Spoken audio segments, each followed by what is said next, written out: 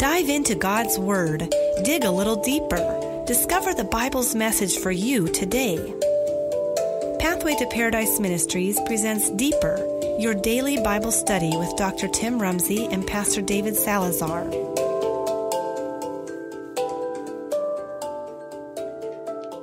Hello, and thank you for joining us on Deeper, your daily Bible study. I am David Salazar, and with me is Dr. Tim Rumsey, and we will continue the study of the book of Songs of Solomon. Specifically, today, Wednesday, May 8th, it's titled Love at the Right Time. Before we start, let us have a word of prayer. Heavenly Father, thank you for allowing us to come together to study your word. Help us to understand and to be able to teach our children and our own husbands and wives what it is to be really loving you, what it is to love our family, what it is to have the right time for those that are contemplating marriage. Allow us to study your word in a way that it will help us in our daily lives and to have a practical understanding so that we may be able to teach others to the truth. We pray all this and we thank you for allowing us to come together in Jesus' name. Amen. Amen. Well, Tim, uh, we have today a topic that it's kind of against what the world um, dictates or teaches today, and it's love at the right time. Uh, now, this doesn't seem to be uh, uh, a problem in the Word of God. I mean, the Bible speaks clearly of marriage as an institution made by the Lord. It's a noble institution, a blessing to to mankind.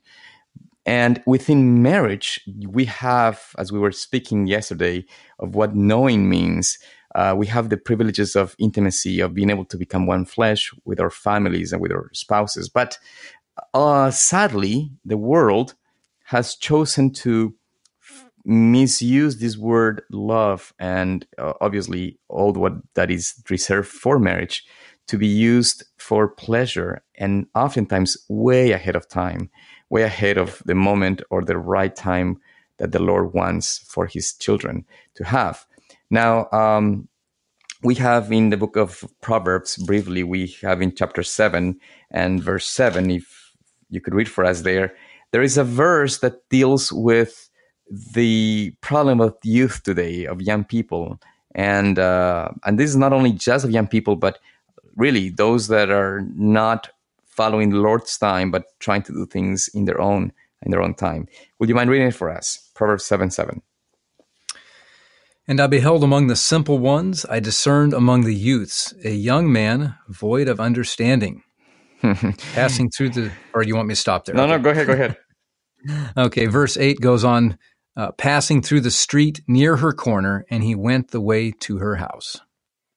So if you can, you know, study a little deeper this in your own uh, time, uh, you know, it's about a young man who is void of understanding. He's a simple one and this young man, it's going to the way of a woman who is offering herself to him, and he is, you know, taken by, I guess, the beauty or his impulses, his his uh, carnal needs, I guess. Nevertheless, this is exactly what's happening today in today's society. We have young people, very young, very, very, very young, uh, doing this type of uh, experiences, experiencing intimacy before marriage, and also not only just young people, but ultimately uh, adults who have had issues in their own lives. They are not really waiting on the Lord, and so we want to talk about what it does mean to have love at the right time. What does it mean to really be able to uh, wait in the Lord, be able to have that that combination? I actually believe that there is two things uh, for a marriage or a person to to be successful. And I always tell this to to my um, to the young people specifically. They're the ones that seem to be more eager per se. But uh, this applies to anyone that is really thinking about mm, marrying someone or, or, or, trying to spend time with someone.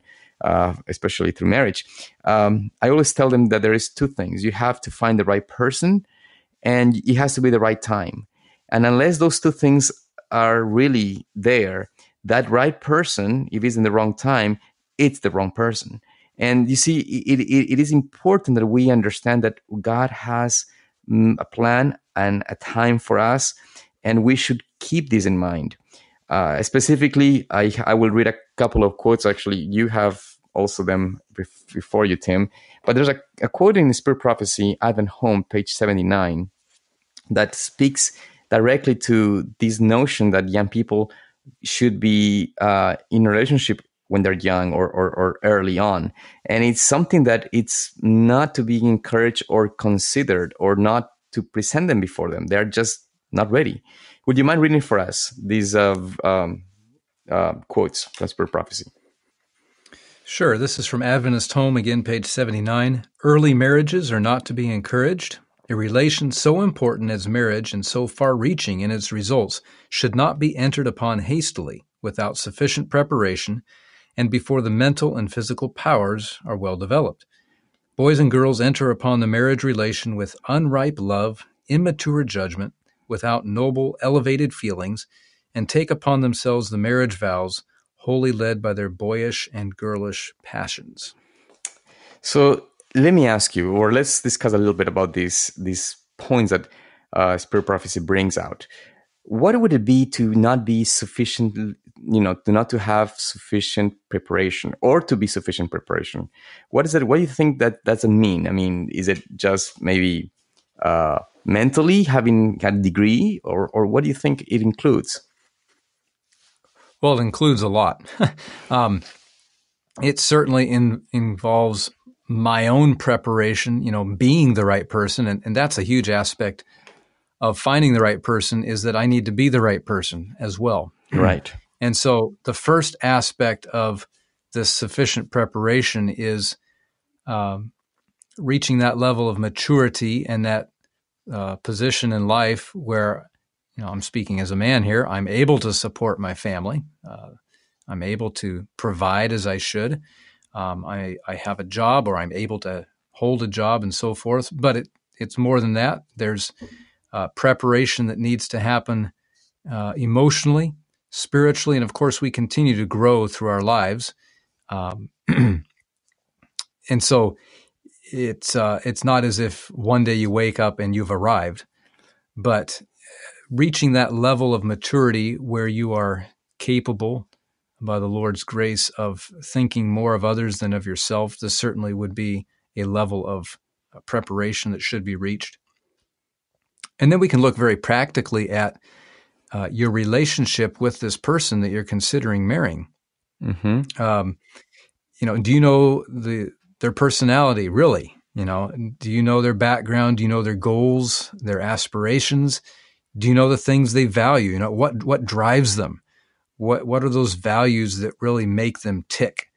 Um, all of these aspects are things that need to be uh, should be thought about beforehand, figured out as much as possible beforehand, and taken together. This uh, takes us far down the road of being sufficiently prepared for marriage. That's right. And, you know, I think one of the ways that you can um, know is by by getting a, a, feedback of people that know you. You know, are, are, do you feel that I am capable of providing for a family? Do you think I'm capable of, of being able to uh, be emotionally, mentally, intellectually capable of leading a family as a husband or you know or, or, as a wife and and so i think that this is so important to be able to seek counsel and, and you know spiritual counsel as you are thinking or as a young person or even as an adult uh, is considering marriage or thinking of someone, I think that you know I can gauge uh, a lot of success or at least uh, more um, more likely success in a marriage. A person that is really willing to seek the advice of spiritual people that can give them a, a guidance, guidance in, in, in life and in counseling, and you know that way the the evaluation is not on you on yourself because you might consider yourself already you know all perfect but that doesn't mean that you are already there yet you know? And so i think that it's important that you consider seeking counsel to those that know you seeking counsel to their family your parents and also spiritual people that have experience and know whether or not you're ready. So if you have preparation if you're sufficient you're sufficiently prepared uh, others will see that as well. Now the, there's also a, a, warning in these uh, quotes that we just read the unripe love. And I think this is a very important aspect because it it sort of tells you that you might have love, but it's not ripe, is not ready, is not mm-hmm. seasoned. Let's put it that way. Uh, what is it you think, Tim? This word means. What what, what is your thoughts about this? Well, it would be love that has not faced any real trials or disagreements or other kinds of storms of life. Do you know how this person is going to react in a certain situation? You know, do you know how you're going to react hmm. in this given situation? Uh, that would be an unripe love. We could also, you know, imagine a piece of fruit. When it's unripe, it's hard. Um, hmm. Unripe love is love that you know is is hard. There's no feeling there for the other person yet. Not real feelings. You know, it's all still focused on me. Right. Uh, Selfish. Unripe love would not have the flavor, the hmm. sweetness that a loving relationship should have. Um, and this one's interesting. Uh, when a piece of fruit is not yet ripe, it is attached very strongly to the vine or the branch that it's growing on. The Bible says in Genesis chapter 2, as Adam is looking at Eve, his, his brand new bride, you know, he says, The man shall leave his father and mother.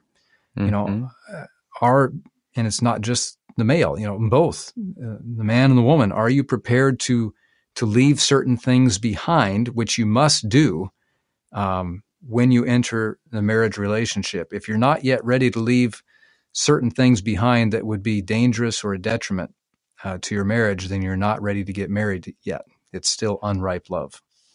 And you know, this could be connected to also the concept of immature judgment. Now, this is not only applicable to young people. Uh, immature judgment. I've seen plenty of seasoned adults, uh, people that are already, you know, you know, way into their years that also have a very immature judgment when it comes to choosing the right spouse, especially those that have, for one reason or the other, have been uh, were in a marriage before and now are single, and they're looking for a second chance to love or what, whatever you're going to call it. Uh, you know, it's many times they make terrible mistakes, and part of the problem again is they're not their, their judgment is immature uh, or there's their love is unripe so you know this is something we have to keep in mind. It, it takes time to learn to, to know somebody who really is. And it, again to me it's so important that you seek the advice and the counsel of someone else of experience spiritually uh, you know you know a person that is spiritually strong that can help you and perceive that, you know. And I think that oftentimes we forget to do that and we end up choosing for ourselves, just like Samson did, you know, choosing those that only attract me physically. And ultimately, it becomes a, a problem, a snare that, that Satan can use to, to destroy us ultimately. Uh, right. Uh, and so that's why we are to have these, these, these, these novel, elevated feelings. Now, what does that mean to have elevated feelings? If in you have only about a few minutes, a few seconds, Tim. Tell us what is that? Oh, oh the pressure. Um, well, you know, relationships often start with infatuation, and uh, those need time to mature and ripen into the uh, more elevated emotions and feelings that can safeguard a marriage and give it a firm platform uh, that it can ride the storms of life on. And uh, that doesn't happen immediately, but it does happen over time. And that's another reason not to rush this move into marriage. Amen. Well, we are really sadly running out of time, and we thank you for listening to our program. We ask that you will continue to study the God's Word, and as we seek Him, may we always seek His counsel in our lives. We will see you again tomorrow. God bless you.